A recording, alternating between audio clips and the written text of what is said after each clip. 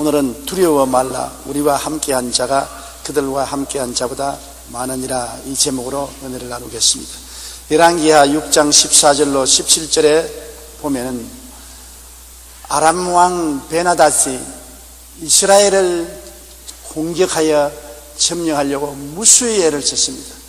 그러나 군 작전을 짜고 난 다음에 보면 꼭 출정하는 곳에 이스라엘 군대가 미리 알고 매복해 있어서 실패하곤 했습니다. 나중에는 왕이 가슴을 치고 통탄을 했습니다. 간부회의에 모여서 우리 가운데 스파이가 있다. 우리가 작전 계획을 하기만 하면은 이스라엘 왕이 뭔지 알아서 군대를 파견하여 매복시키니 이 웬일인가? 누가 스파이가 있는 것을 찾아내지 못할 것인가? 호통을 쳤습니다. 그러자 그들 장관 중 한 사람이 왕이여 이스라엘에는 엘리사라는 선지자가 있어서 왕이 침상에서 혼자 생각하는 것조차 다 알아서 이스라엘 왕에게 보고를 하나이다. 그러면 엘리사를 잡아라. 보고가 들어오기를 엘리사가 도단성에 들어와서 하룻밤을 지낸다는 말을 듣자 정군을 동원해서 도단성을 포위했습니다. 첩첩이 군대와 마병을 통해서 포위를 했습니다. 엘리사의 종이 아침 일찍 일어나서 밖에 나와서 기지개를 쓰고 숨을 크게 들어쓰고 양편을 바라보니 안개가 좌우 한 가운데 뭐가 번쩍번쩍하고 홀럭홀럭 깃발이 날리거든요. 가만히 살펴보니까 온 천지가 아람 군대의 깃발과 장금이라 그는 혼비백산했습니다. 피가 모두 다 아래로 쏟아졌습니다. 그는 벌벌 기어서 방 안에 들어가서 엘리사 선생이요 큰일 났습니다. 아람 군대가 온 성을 첩첩이 둘러싸서 쥐새끼 한 마리도 도망칠 수 없습니다. 그러자 엘리사가 가만히 있어, 가만히 있어, 앉아. 우리와 같이 계시니가 저들과 같이 있는 것보다 많다. 어떻게 해요? 하나님이여 이 젊은이에게 눈을 뜨게 했사 실상을 보고 알게 하소서.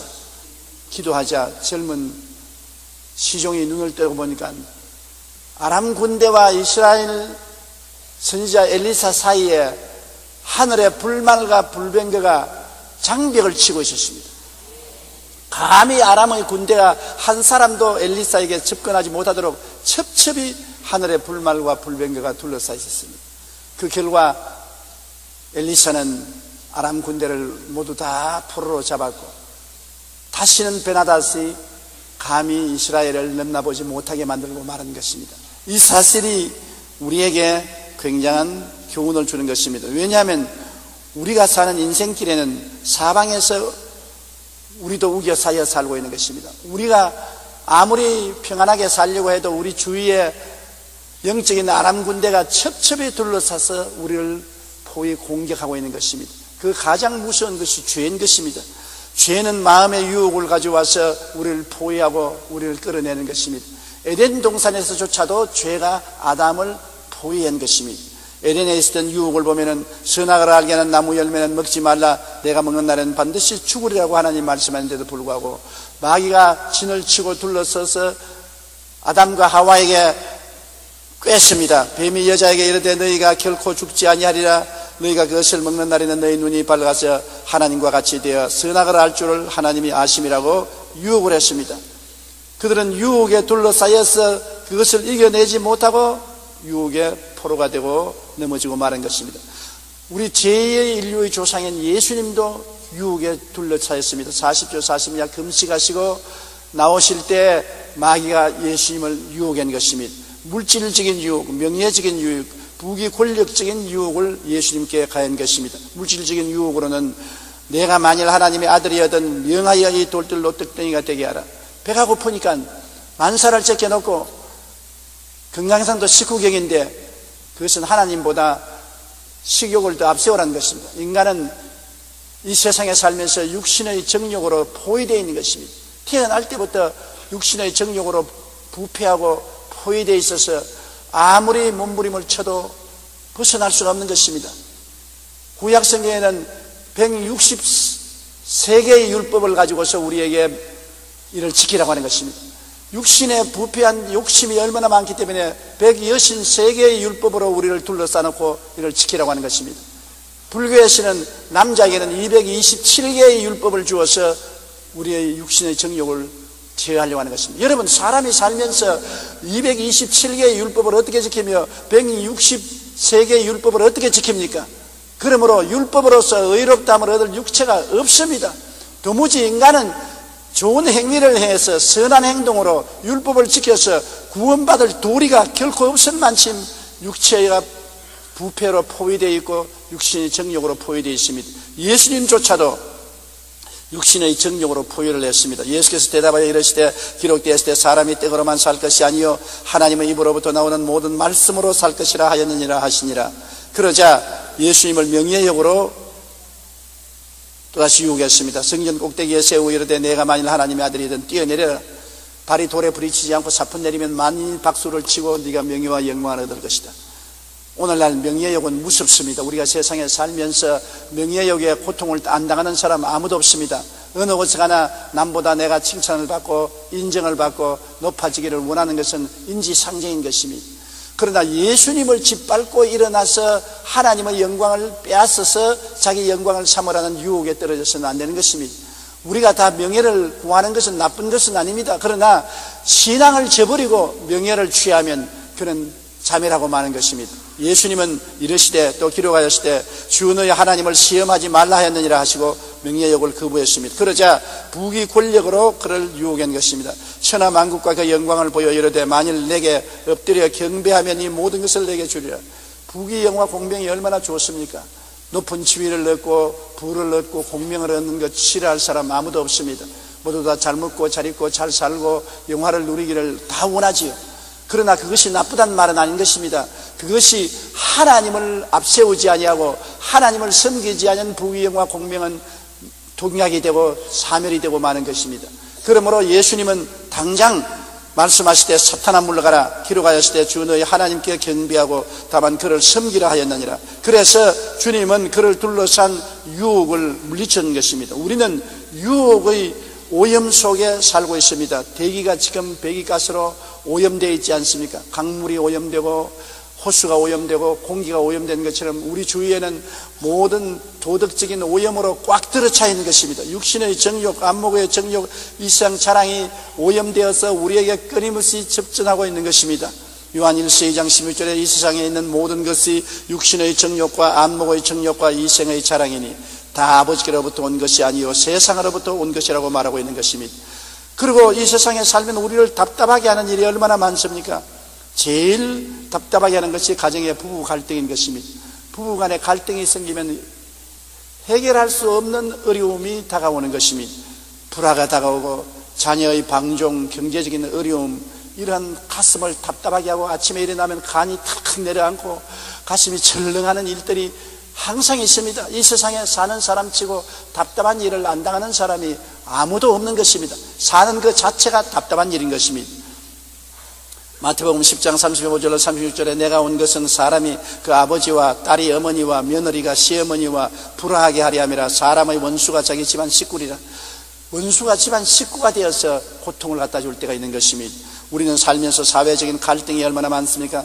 높은 사람과 낮은 사람의 갈등, 이웃 간의 의견 갈등, 정치적인 갈등, 노사 갈등, 빈부 갈등, 사상 갈등 등 사람 사는 그 자체가 갈등인 것입니다.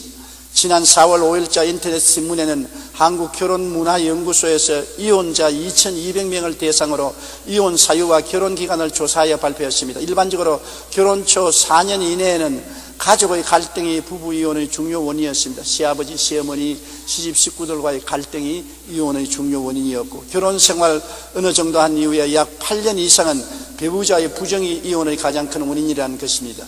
그 밖에 60년대는 간통이혼, 2000년대는 경제이혼이라는 말이 나올 정도로 배우자의 경제적인 무능력이나 무절제한 소비 생활 등으로 이혼하는 부부가 많았습니다. 그런가 하면 월간지인 아버지와 가족에서 수도권에 거주하는 30대에서 40대의 기혼 남녀 204명을 대상으로 부부 간등에 대한 설문조사를 했는데 부부의 75%가 이견 충돌로 결혼 생활에 위기를 느낀다는 것입니다. 서로 이해하고 동정하고 사랑하고 양보할 줄 모르고 자기 고집만 세웁니다. 남자는 남자, 아내는 아내, 자기 고집만 세워서 그 갈등이 위기를 초래한다는 것입니다. 부부가 갈등 원인으로 성격 차이가 가장 높았는데 남자는 68%, 여자는 58%, 그 다음 남편은 자녀 교육 문제로 48%, 부인은 시부모 문제 32%가 갈등의 원인으로 지적된 것입니다. 오늘날 우리나라의 이혼율은 매우 높습니다. 자녀 교육이나 경제적 문제, 부부 갈등의 문제는 우리를 답답하게 하는 일들인 것입니다. 해결책이 없어요. 저에게도 부부 갈등 문제로 끊임없이 신앙 상담을 오는데 두 분을 만나보면 한 사람 한 사람 말은 다 옳아요. 남편 말 들으면 남편 말이 옳고 아내 말 들으면 아내 말이 옳고 둘이 갖다 놓으면 둘이가 다 옳지 않고 도저히 해결할 수 없는 문제들이 많은 것입니다. 여러분 그렇지 않으면 또 예수 믿고 세상에 살다면 답답한 일은 천국인들은 핍박을 당하는 것입니다. 세상 문화와 그리스도인 문화가 다르기 때문에 갈등을 당합니다. 우리 한국에는 정초에 제사 문제로 말미암아 갈등을 당할 가정이 많지 않습니까? 사회생활에서 신앙 문화와 우리 한국의 고유 문화와의 갈등으로 말미암아 가족 간의 대결을 할 때가 많습니다. 다시 말하면 우리 사람들이 이 세상에 사는 동안에 예수 믿는 사람과 믿지 않는 사람의 삶의 목적이 다릅니다. 세상 사람들은 부귀 영화 공명을 얻는 것이 목적이지만 우리는 하나님을 기쁘시게 하는 것이 목적인 것입니다. 저를 잘 아는 사람 한 사람이 나를 찾아와서 조 목사 큰 교회 목회하니까 은퇴하기 전에 한몫 잡고 은퇴하라. 아이고 어떤 회사도 회장이 은퇴하기 전에는 한몫 잡는데 아이고 조용기 목사도 한특 잡아서 우리도 좀 나누어 주고 참 잘 살게 해줘. 도무지 인생의 샘의 목적과 가치가 다릅니다. 내가 그 사람에게 이 사람아 예수 믿는 것이 있는 것 다 주님께 드리고 하나님 섬기고 손 털고 떠나는 것이 그리스도의 신앙생활이다. 우리의 목적은 하나님을 영화롭게 하고 하나님 나라가 임하게 하는 것이 목적이다. 무슨 말인지 알아듣지 못하고 당신 정신병 들린 것 아니냐? 무슨 말을 그런 말 하느냐? 세상의 부귀영화 공명을 누리는 것이 목적이지 하늘나라가 어디 있으며 하나님이 어디 있느냐? 그와 같은 말을 합니다. 삶의 목적이 다르기 때문에 생각이 다르고 말이 다르고 행동이 다른 것입니다. 삶의 가치가 완전히 다르죠. 우리의 가치는 주님을 영화롭게 하고 주님을 기쁘시게 하고 영생 복락을 누리는 것이 우리의 가치지만은 세상 사람은 그렇지 않습니다. 이 세상 일락을 가치로 삼습니다. 삶의 방식이 다르지요. 우리는 성수주의라고 11조 드리고 주님의 영광을 위해서 희생하는 것을 즐겁게 느끼지만은 믿지 않은 사람은 주일날 또 안 지키고 11조는 왜 죽게 드려요? 있는 것조차 다 빼앗아 가려고 하는데 그리고 삶의 방식이 틀려서 세상 육신의 중심으로 살고 있지 않습니까? 마태복음 5장 11절로 12절에 나로 말미암아 너희를 욕하고 박해하고 거짓으로 너희를 거슬러 모든 악한 말을 할 때는 너희에게 복이 있나니 기뻐하고 즐거워하라 하늘에서 너희 상이 큼이라고 말한 것입니다. 이와 같이 우리는 예수 믿는다고 해서 핍박당하는 생활이 끊임없이 많습니다. 그뿐 아닙니다. 우리는 예수 때문에 순교당하는 일도 종종 있는 것을 봅니다. 지금 우리나라에는 과거 우리 선조들이 순교를 당했기 때문에 우리가 평화를 누리고 있지만 지금도 순교당하는 성도들이 세상에는 많아요. 로마 시대는 10대 황제가 엄청나게 초대 교회를 핍박해서 수많은 사람이 원형극장에서 횃불이 되어 불에 타 죽고 사자에 찢겨 죽은 것입니다. 이와 같은 순교의 고통이 다가온 것입니다. 대원군 시절에 우리 한국에 순교당한 숫자가 만여 명이 죽었습니다. 그리고 일정 핍박 시대에 얼마나 많은 사람들이 핍박을 당했으며 공산 치하에서 교회가 공장으로 변하고 성도들이 노동 수용소로 끌려가고 죽고 했지 않습니까? 우리가 어찌해야 되겠습니까? 이 세상에 살면서 사망으로 죄가 우겨싸고 세상 문제가 가슴을 눌러 답답하고 우리가 핍박을 당하고 혹은 죽임을 당하는데 우리는 어떻게 대처해야 되겠습니까? 불안하고 초조하고 좌절하고 절망해야 되겠습니까? 아니면 우리가 담대하게 설수 있습니까? 우리가 어찌해야 될 것입니까? 열왕기하 6장 16절이 그에 대한 대답을 주고 있는 것입니다. 우리 한번 다 같이 6장 16절을 읽어보십시다. 대답하여 두려워하지 말라. 우리와 함께한 자가 그들과 함께한 자보다 많으니라 하고 우리가 환경을 바라보지 말고 우리 속을 바라봐야 되는 것입니다. 환경을 바라보면 원수가 끊임없이 둘러 진치고 원수의 창금과 깃발이 휘날리지만은 엘리사가 기도한 것처럼 우리가 기도하면 우리 속에서 하나님이 마음속에 꿈과 환상을 보여주는 것입니다. 우리와 함께한 자가 원수보다 많다는 것을 알게 되고 함께한 내적인 하나님의 능력에 의지하면 넉넉히 이길 수가 있는 것입니다. 요한일서 4장 4절에 찾아들어 너희는 하나님께 속하였고 또 그들을 이겼나니 이는 너희 안에 계신 이가 세상에 있는 자보다 크심이라 여러분 안에 누가 계십니까? 여러분 안에는 옛날에는 반역의 영 원수 마귀가 들어와 있었습니다만 예수 믿고 난 다음 여러분 속에는 하나님의 성령이 와서 계시고 성령을 통하여 하나님의 아들과 아버지가 와서 계신 것입니다. 우리의 마음 성전에는 삼위일체 하나님이 와 계신 것입니다. 우리가 어려움을 당할 때 눈을 밖으로 돌리지 말고 우리 마음 속으로 돌려서 우리 속에 누가 계신지를 알아야 되는 것입니다. 하나님이 계신 것을 인정하고 환영하고 모시드리고 하나님께 의지하고 나가면 우리가 이길 수가 있는 것입니다. 우리가 의지할 자가 있으면 마음이 담대지잖아요.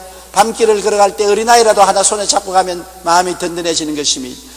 하물며 우리 인생에 천지와 만물을 지으신 삼일체 하나님이 우리 속에 같이 계서 동행하고 동거하신다는 것을 알게 되면 마음에 든든해지고 믿음을 가질 수 있게 되는 것입니다. 염려하고 근심하면 우리는 자살의 행동을 하는 것입니다. 어느 심리학자는 염려를 느린 영태의 자살이라고 말한 것입니다. 염려를 하는 것은 자기 스스로 자살하는 것이다. 의사인 WC 알베레스는 위장장애의 80%는 염려와 두려움에서 온다고 말하는 것입니다. 염려와 두려움을 하면 거의 위장병이 생기거든요. 우리 체험으로 심장도 뛰고 머리도 아프고 잠도 안 오고요. 염려는 영어로 월이라고 말하는데 독일 말은 비르겐이라고 말하는 데서 유래됐습니다. 비르겐이란 말은 목을 졸라 죽인다는 말인 것입니다. 염려라는 것은 두려움으로 인하여 염려는 목을 조이듯이 다가와 우리의 시각을 흐리게 만들고 현실을 제대로 보지 못하게 만듭니다. 이처럼 두려움은 염려는 삶에 긍정적이고 건설적인 일을 할 수 없게 만드는 것입니다. 더욱 염려는 영적 무력증을 일으켜서 영적 감각을 잃게 하여 무력감에 빠지게 만들어 주는 것입니다. 우리는 두려워하지 말고 하나님을 돌보심을 믿음으로 확신해야 됩니다. 그럴 때 우리의 영적인 눈도 띄워지고 눈앞의 적병보다도 많은 하나님의 불말과 불병거가 우리 마음속에 둘러 진치고 있다는 것을 알게 되는 것입니다. 영적인 세계를 들여다봐야지 물질적인 세계를 들여다봐서는 안 되는 것입니다. 안 믿는 사람은 영의 눈이 없기 때문에 영적인 세계를 볼 수가 없는 것입니다. 그러나 우리 믿는 사람은 물질적인 세계를 보는 육안만 있는 것이 아니라 영적인 세계를 바라보는 영안이 열려 있는 것입니다. 영안을 통해서 하늘나라가 우리와 같이 계신 것을 알아야 되는 것입니다. 영적인 세계는 육신적인 세계를 정복하고 지배하고 다스리는 능력이 있는 것입니다. 물질적인 세계는 3차원 세계지만 영적인 세계는 4차원의 세계로 차원이 높은 것입니다. 높은 차원이 낮은 차원을 다스리는 것입니다. 그러므로 우리는 두려워하지 말고 놀라지 말고 눈을 영적으로 향해서 믿음으로 서야 되는 것입니다. 우리는 어느 곳에 가나 비교 위에 서 있는 것입니다. 아무리 물질적인 세계가 다가와도 우리 키를 비교해 보면 우리가 키가 크다고요. 주먹을 물질적인 세계가 주먹을 내면 우리가 믿음으로 주먹을 내면 우리 주먹이 크다고요. 물질적인 세계 갔다가 오면 우리가 비교해보면 우리 덩치가 더 크다고요. 물리적인 법칙으로도 큰 자와 작은 자가 부딪히면 작은 자가 물러가는 것입니다. 우리는 이기도록 되어 있는 것입니다. 사방으로 우겨 싸도 쌓이지 않습니다. 왜냐하면 아무리 우겨 쌓여도 우리 덩치가 너무 크기 때문에 우겨 쌓여지지 않습니다. 왜 우리 덩치가 큽니까? 하나님이 우리 속에 계시기 때문에 세상 것으로 우리를 우겨 살 수가 없습니다. 답답한 일을 당해도 낙심하지 않습니다. 아무리 답답해도 하나님이 천지를 지으신 그 능력으로 같이 계심으로 하나님 앞에서 모든 문제는 사라지고 마는 것이기 때문에 답답한 일을 당해도 낙심하지 않습니다. 핍박을 당해도 버림받지 않는 것은 세상이 우리를 핍박해도 천지와 만물을 지으신 하나님이 우리를 품에 품고 계시니 우리가 버림당할 이유가 없는 것입니다. 핍박 당할수록 하나님께서 더 사랑하시고 더 품어주시고 더 은혜를 베풀어 주시기 때문인 것입니다. 그꾸러져도 망하지 않습니다. 아무리 망하려고 해도 불사조처럼 도로 일어나는 것이 우리 성도인 것입니다. 죽은 자도 부활하는데 우리 생활과 사업이 죽었어도 하나님은 또 부활시키는 것입니다. 더 낮게 부활시키는 것입니다. 고린도후서 4장 7절에 우리가 이 보배를 질그릇에 가졌으니 이는 심히 큰 능력은 하나님께 있고 우리에게 있지 아니함을 알게 하려 하심이라 우리가 위대해서 이기는 것이 아니라 심히 큰 하나님께서 우리 속에 와 계심으로 세상 것으로 아무리 둘러싸고 짓밟고 거꾸로 때린다고 하더라도 하늘에 계신 하나님이 우리 속에 계심으로 하나님은 짓밟히지 아니하고 둘러싸이지 아니하고 거꾸로지지 아니하는 능력을 가지고 계신 것이기 때문인 것입니다. 그러므로 우리가 살아갈 길은 영적인 실상을 바라보고 살아야 되는 것입니다. 환경보다 더 크신 하나님을 바라보고 살아야 되는 것입니다. 항상 하나님을 바라보고 사는 우리들이 되어야 되는 것입니다. 하늘을 쳐다보고 살아야 되는 것입니다. 아브라함을 보고 하늘을 들어 별들을 헤아려 보라고 하는 것처럼 하늘을 바라보고 하나님이 주신 약속을 헤아려 보고 살아야 되는 것입니다. 사도행전 17장 24절에 우주와 그 가운데 있는 만물을 지으신 하나님께서는 천지의 주제가 되신다고 말씀한 것입니다. 히브리서 13장 5절로 6절 다 같이 읽어보십시다. 내가 결코 너희를 버리지 아니하고 너희를 떠나지 아니하리라 하셨느니라. 그러므로 우리가 담대히 말하되 주는 나를 돕는 이시니 내가 무서워하지 아니하겠노라. 사람이 내게 어찌하리요? 주님께서 결코 너희를 버리지 아니하고 너희를 떠나지 아니하리라고 하셨으므로 우리가 담대해질 수밖에 없는 것입니다. 어느 선교사의 간증을 제가 읽었는데 불신의 종족들 가운데 복음을 전하러 갔는데 하루는 밤중에 믿지 않는 불신의 종족들이 횃불을 들고 손에 손에 몽둥이와 창금을 들고 이 집을 불태우고 선교사 부부를 죽이려 왔었습니다. 군중들이 모여오는 것을 보고 부부가 엎드려서 하나님께 부르짖게 됐습니다. 하나님, 우리는 단 둘인데 저 부족들은 때가 많고 횃불을 들고 창금을 들고 오니 우리가 감당할 수 없습니다. 우리를 지켜주셔서 간절히 기도했었습니다. 바깥에서 고함을 치고 깽과리를 치고 발을 구르고 야단 법석을 하면서도 집에 불을 붙이지 않고 다가오지 못하다거든요. 거리를 두고서 야단 법석을 하더니만 일제히 돌아서서 걸음만 나살리려고 도망을 쳤습니다. 아침까지 와도 조용하고 아무도 찾아오지 않고 그를 지나고 난 다음에 1년 동안 선교사들을 감히 공격하거나 욕하지 아니하고 모두 다 친절히 대하고 굽신굽신했습니다. 그 다음 1년이 지난 후 그 추장이 회개를 하고 예수를 믿고 난 다음에 선교사 집에 자꾸 와서 자꾸 두리번 두리번 찾거든요. 뭘 찾느냐 그러니까 1년 전에 우리가 여기 왔을 때 이 집을 둘러싸고 있던 그 군병들이 어디 갔습니까? 빛난 옷을 입고 수많은 군인들이 집을 둘러싸고 있는데 우리는 혼비백산했습니다. 군인들이 없는데요. 그 누굴까요? 그래서 그날 이후로 우리는 그 군인들이 어디에서 숙식을 하는가 찾아보려고 슈파이를 보내서 아무리 찾아봐도 온데간데 없어서 없었던 것은 하기야 맞기는 맞군요. 그러니까 선교사가 그는 육신의 군대가 아니라 하나님의 천사들이 와서 우리를 보호해 주었다고 말한 것입니다. 그들을 결국 보호해 준 것은 하나님의 천사들이 엘리사를 보호한 같이 보호해 준 것입니다. 오늘날 또 여러분 우리들은 우리 주변에 하나님의 천사들이 끊임없이 보호한다는 것을 알아야만 되는 것입니다. 우리가 하나님을 피란채로 삼고 그를 의지하면 하나님이 그 사자들을 보내어서 우리의 모든 길에서 우리를 지켜주시는 것입니다. 하나님이 우리를 붙들어 발이 돌에 부딪히지 않게 해주시는 것입니다. 우리는 뱀과 독사를 밟으며 젊은 사자와 뱀을 발로 누를 수 있는 권세를 주신 것입니다. 우리의 자신을 알아야 되는 것입니다. 사람들은 예수를 믿고 난 다음 자기가 어떠한 신분을 가졌는지 이해를 못합니다. 우리는 사망에서 생명으로 옮긴 바 되었으며 마귀의 자식에서 하나님의 자녀가 되었으며 육의 자녀에서 영의 자식으로 거듭났으며 하나님이 우리 아버지가 되고 예수님이 우리 구주가 되고 성령이 우리 보혜사가 되고 천군 천사가 우리의 병사들이 되어서 우리와 함께 거하는 것입니다. 육신으로 보면 약하게 보지만 영적으로 보면 거대한 군대인 것입니다. 이러므로 우리 예수 믿는 사람은 육의 눈으로만 자기를 보고 환경을 보아서는 안 되고 항상 영의 눈이 깨어서 하나님을 바라보고 하나님의 약속을 의지하는 우리가 되어야 되는 것입니다. 우리나라에서 유명한 부흥사였던 길선주 목사님은 임종시에도 그를 둘러쓰는 사람들에게 향해 하늘에서 전부가 왔으니 이제 가봐야 되겠다. 안녕히 계세요. 그리고 세상을 떠났습니다. 죽음 앞에서 목사님은 슬퍼하지 않으시고 떠나신 것입니다. 죽음조차도 우리에게 원수가 되지 않는 것입니다. 디엘 무디 목사님은 임종시에 눈물을 흘리는 아내와 자녀들에게 땅이 물러간다. 천국이 열리고 세계가 내게로 다가온다. 하나님이 나를 부르시는구나. 내가 너희들보다 먼저 가겠다. 그러고 눈을 감았습니다. 여행 떠나는 것이지 죽어 고통을 당하는 것이 아니었었습니다. 그러므로 죽음조차도 우리에게 두려움이 되지 않은 것입니다. 구세군의 창시자였던 원리안 부수의 아내였던 캐드린 부수는 임종시에 이제 나는 죽는다. 죽는다기보다는 오히려 더큰 생계 시작되는 것이 눈에 보이는구나. 이제 와서 보니 죽음이야말로 아름답고 귀한 것이구나. 이렇게 말하고 세상을 떠났습니다. 여러분, 우리가 인생을 살면서 태어난 이후로 이 세상의 염려, 근심, 불안, 초조, 절망, 고통에 휩싸여 살면서 고난당할 뿐 아니라 사람에게는 최후 가장 무서운 것이 죽음인 것입니다.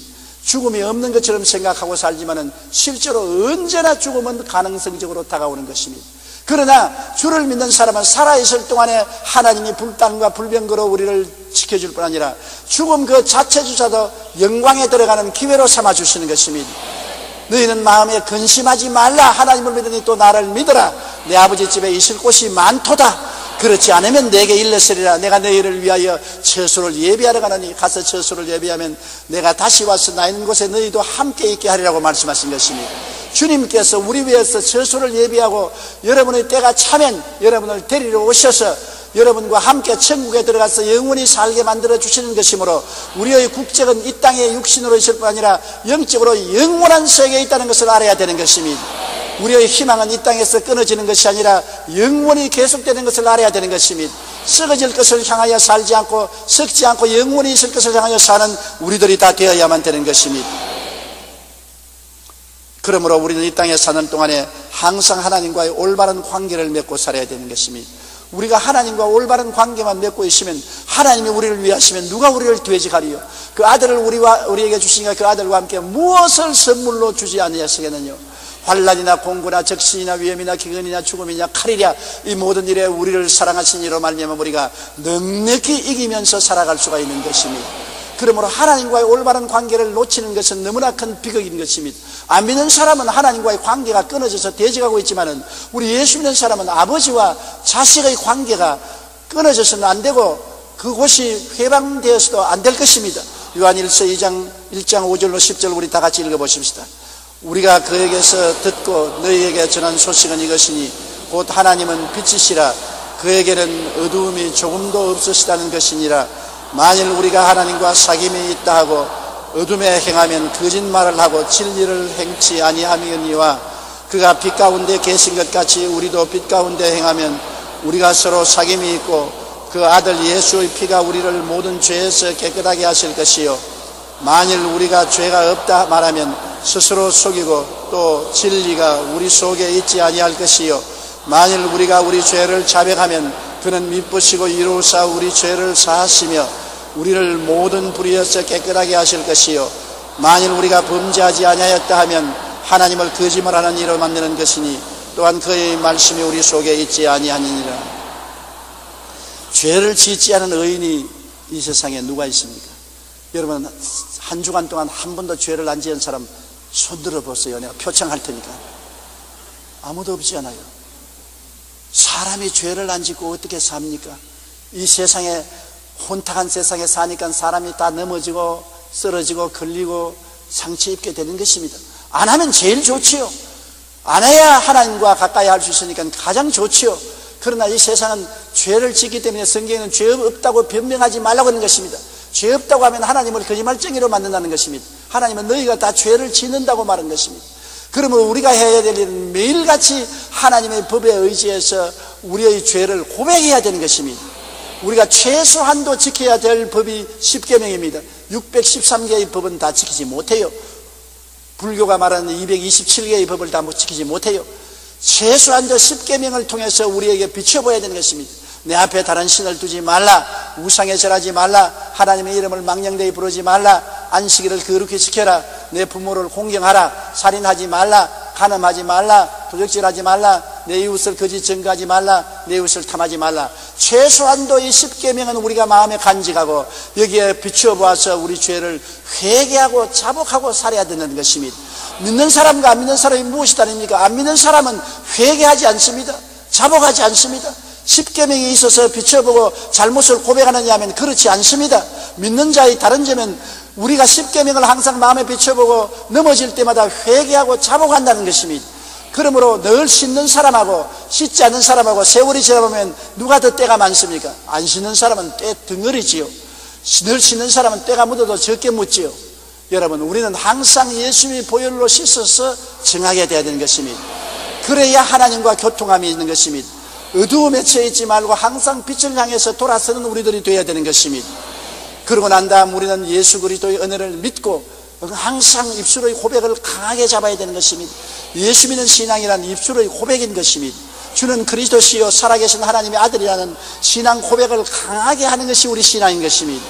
우리의 신앙은 속으로만 몰래 가지고 있는 것이 신앙이 아닙니다. 입술의 고백입니다. 혼자서도 고백하고 이웃 사람에게도 고백하고 하나님 앞에서도 고백하고 세상 사람 앞에도 고백해야 되는 것입니다. 신의 고백이 우리의 믿음을 굳게 잡아주는 것입니다. 로마서 10장 10절에 사람이 마음의 믿에 의해 이르고 입으로 신하여 구원에 이르느니라고 말한 것입니다.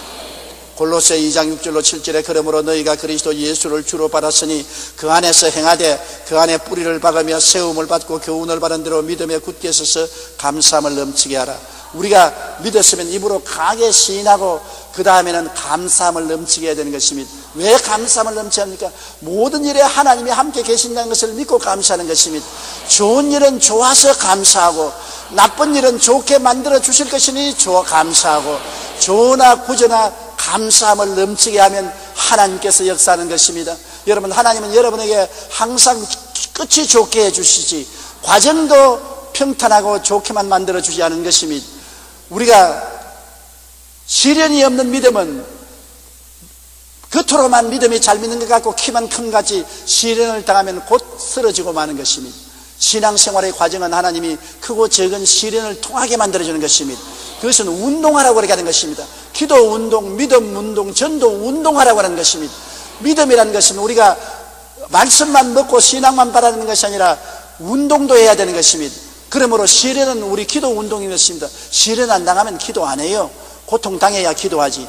지나가 보면 여러분 기도 가장 많이 할 때가 가장 어려울 때 가장 기도 많이 했지요. 가장 편안하고 좋을 때는 기도 안 하는 것입니다. 슬플 때 가장 찬송 많이 하지 즐거울 때는 별로 찬송도 하지 않은 것입니다. 시련과 고난과 고통이 다가와야 기도도 많이 하고 회개도 많이 하고 깨어지고 찬송도 많이 하고 눈물도 많이 흘리고 신앙이 쑥쑥 자라는 것입니다. 그러므로 좋은 것만 좋은 것이 아닙니다. 우리 하나님 아버지께서는 우리가 최선으로 성장하기 위해서 우리에게 좋은 양식도 먹여주시고 좋은 일도 일어나게 해주시나 시련도 늘 보내주시는 것입니다. 시련을 통해서 우리가 연단을 받아서 능력 있고 힘 있고 탄탄한 사람이 되어서 나중에 이 세상에 살면서 진짜로 영혼이 잘 되고 범사에 잘 되며 강건하고 생명을 얻되 풍성이 얻는 삶을 살도록 도와주시는 것입니다. 그러므로 여러 가지 시험을 당하거든 온전히 기쁘게 여기시는 여러분 되시기를 바랍니다. 어려운 일도 우리가 그것을 보배로 삼고 감사하면은 그것이 좋은 일로 변화된다는 것을 알아야 되는 것입니다. 반드시 좋은 일만 좋은 것이 아닙니다. 여러분 생활 가운데 어려운 일이 다가올 때 그것을 가지고 감사하게 생하고 기도하면 하나님이 그를 통해서 좋은 일로 변화시켜 주는 것입니다. 나쁜 남편이 반드시 나쁜 것도 아니고 까다로운 아내가 반드시 나쁜 아내도 아닌 것입니다. 시를 가져온 자식 때문에 자식을 미워할 일도 아닌 것입니다. 그런 것을 통해서 믿음이 자라게 하는 것입니다. 오히려 그 역경이 변해서 좋게 만들어 주시려고 하는 것이기 때문에 꿈을 버리지 말고 긍정적이고 적극적이고 창조적인 꿈을 가지고 좋아진다. 좋은 것은 좋아지고 나쁜 것은 더 좋아질 수 있다고 신념을 가지는 여러분 되시기를 바랍니다. 이스라엘은 사해가 있습니다. 해수면이 바다보다 400m나 낮지만 물이 계속 증발되어 소금 호수가 되었습니다. 물이 짜니 생물이 살지 못하여 죽음의 바다라고 해서 사해라고 이름 붙인 것입니다. 지금은 이스라엘과 요르단과의 국경에 사해를 반으로 가려서 반은 이스라엘에 속하고 반은 요르단 국가에 속해 있는 것입니다. 저 그림에 보는 것처럼 안, 안 깔았잖아요. 소금이 너무 많아서 둥실둥실 뜨고 안 깔았습니다. 그런데 오늘날 이스라엘은 사해라고 하지 않고 염해라고 부릅니다. 그러나 요르단은 진짜 사해가 되어 있습니다. 이스라엘 쪽의 사해는 활발하게 개발되어 그 죽음의 바다가 치료 휴양지로 조성되었습니다. 사해는 소금 외에 몸에 좋은 무기전이 녹아있어 각종 피부병 치료에 척효를 발휘하고 있습니다. 그래서 가는 곳마다 안락한 호텔과 휴양지가 조성되어 피부병을 치료하려는 사람들과 관광객들로 북새통을 이루고 있습니다.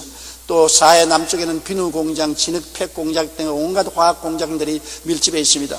플라스틱 원료는 세계 인구가 100년을 쓰고도 남을 만큼 양이 매장되어 있습니다. 또 농약이나 페인트의 원료도 전 세계 소비량의 4분의 1이 사해 생산됩니다. 이제 사해는 세계 최고의 자연병원, 세계 최대의 화학 공장으로 바뀐 것입니다. 더 이상 죽음의 바다가 아닙니다. 축복의 바다입니다. 그러나 요르단 쪽은 신기할이 많지 방치해 놓고 있어서 말 그대로 죽음의 바다가 되었습니다. 똑같은 사해인데 이스라엘 쪽은 번영의 처수가 되고 마는 것입니다. 요르단 쪽은 문자 그대로 죽음의 바다가 되어 있는 것입니다. 왜 그러냐? 이스라엘은 사해를 받아들였을 때 어떻게 받아들였냐? 주님이 적과 꿀이 흐르는 땅으로 우리를 인도하시니 이것도 결국은 사해가 아니고 적과 꿀이 흐르는 땅이다. 이곳에 적과 꿀을 찾아내자. 죽음의 바다에서 적과 꿀을 찾아내니까 온갖 치료약이 다 나왔으며 온갖 비누 공장, 비료 공장이 다 나왔으며 온갖 휴양지가 다 나왔고 온갖 유용한 물질이 다 나온 게된 것입니다. 죽음의 바다인 줄 알았는데 들어가서 꿈을 가지고 믿음을 가지고 감사하면서 들여다보니까 복지요 적과 꿀이 흐르는 곳이었습니다. 그러나 요르단 측에서는 그것을 사해로 받아들이고 이는 못을 땅이다. 못을 바다다. 여기는 아무 생물도 살지 못하고 농사도 짓지 못하는 곳이라고 방치해 놓으니까 그 적과 꿀이 흐르는 땅이 죽음의 땅으로 변화되어 있는 것입니다. 여러분, 우리의 가정이 적과 꿀이 흐르는 가정을 만들 수도 있고 죽음의 가정으로 만들 수도 있는 것입니다. 우리의 삶을 적과 꿀이 흐르는 삶으로 만들 수도 있고 사지로 만들 수 있는 것입니다. 그 모든 것은 우리가 어떻게 바라보고 어떻게 믿고 어떻게 감사하느냐에 달려 있는 것입니다. 나는 못한다, 안 된다, 할 수 없다, 나는 저주받았다, 패배한다. 그렇게 하면 어느 곳에 가나 이래서나 언제나 죽음의 사지에 있게 되는 것입니다. 그러나 십자가를 바라보고 예수님의 보혈을 의지해서 꿈을 갖고 믿음을 갖고 긍정적이고 적극적인 태도로 감사하면 사해도 축복의 바다가 되어버리고 마는 것입니다. 십자가를 통해서 예수님은 용서와 의와 영광을 퍼부어 주십니다. 거룩함과 성령 충만을 부어 주십니다. 치료와 건강을 넘치게 주시는 것입니다. 아브라함의 복과 형통을 주시는 것입니다. 부활 영생 천국을 주시는 것입니다. 십자가를 통하여 3대 재앙에서 3중 축복을 주셔서 영혼이 잘됨같이 범사에 잘되며 강건하고 생명을 얻되 풍성히 얻게 해주는 것입니다. 눈을 들어 십자가를 바라보고 영적인 세계 속에 사는 여러분 되시기를 주님 이름으로 축원합니다. 우리 예수 믿는 사람은 십자가를 바라보고 사는 사람인 것입니다. 전쟁할 때 보면 본부와 통신이 두절되면 일선에 있는 장병들은 위험에 처하게 됩니다. 지시도 받지 못하고 보급도 끊어집니다. 우리 안에 계시고 하늘에 계신 하나님과 우리의 관계가 확실하면 우리는 두려워할 것이 없습니다. 하나님과 확실한 관계가 있는데 무엇이 두려워할 게 있겠습니까? 로마서 8장 35절로 39절 우리 다 같이 소리내어 읽어보십시다. 누가 우리를 그리스도의 사랑에서 끊으리요? 환란이나 곤고나 박해나 기근이나 적신이나 위험이나 칼이랴 기록된 바 우리가 종일 주를 위하여 죽임을 당케 되며 도살할 양같이 여김을 받았나이다 함과 같으니라. 그러나 이 모든 일에 우리를 사랑하시는 이로 말미암아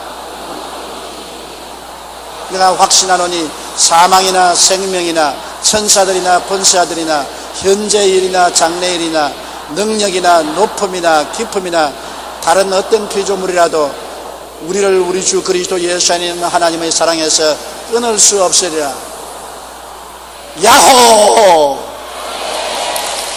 무엇이든지 우리는 넉넉히 이기게 되어 있는 것입니다. 예수님이 우리의 구주시고 천지와 만물을 지은 아버지가 우리 아버지신데 왜 두려워합니까? 두려워 말라 내가 너와 함께함이라 무서워 말라 내가 너와 같이 있다고 성경은 말씀하고 있는 것입니다. 주님의 의로운 손이 우리를 붙들고 있는데 왜 두려워하고 놀랄 리가 있겠는 것입니까? 육신을 이 눈을 뜨고 아람 군대를 바라보고 그 병기와 그 깃발을 휘날리는 것을 바라보면 안 됩니다. 여러분 기도해서 하나님의 불말과 불병계가 우리를 둘러 진치고 있는 것을 바라보고 꿈을 가지고 믿음을 가지고 강하고 담대하게 나가면 할 수 있다 하면 된다 해보자로서 권세와 능력이 나타나고 성의의 깃발을 휘날릴 수가 있게 되는 것입니다. 고개 숙여 기도드리겠습니다. 사랑이 많으신 우리 아버지 하나님 이 세상에 우리들은 끊임없이 죄악에 우겨 쌓이고 염려와 근심에 마음이 갈라지고 핍박으로 고통당하고 낙심과 절망으로 끄꾸러지고 망할 때도 많습니다. 환경을 바라보면 좌절하고 절망할 수밖에 없지만 우리는 특이한 사람으로 환경으로 인하여 살지 않고 우리 속에 계신 하나님의 능력으로 사는 것이옵니다. 지극히 크고 영원하신 하나님이 우리 질그릇 속에 와서 계시고 이 하나님과 연결해서 꿈과 믿음과 소망을 가지고 강하고 담대하게 기도하고 나갈 때 언제나 결과는 우리가 승리하게 되는 것을 알게 도와주시옵소서. 하나님을 사랑하는 자 곧 그 뜻대로 부르심을 입은 자들에게는 모든 것이 합력하여 선을 이루나니라. 우리가 감당치 못할 시험당함을 허락지 아니하시고 시험당할 즈음에 피할 길을 내사 우리로 능히 감당케 하시는 하나님을 감사드립니다. 하나님 아버지여 우리 성도들이 모두 다 눈을 들어 십자가를 바라보고 십자가를 통해서 하나님이 우리에게 주신 엄청난 은혜를 바라보게 도와주시옵소서.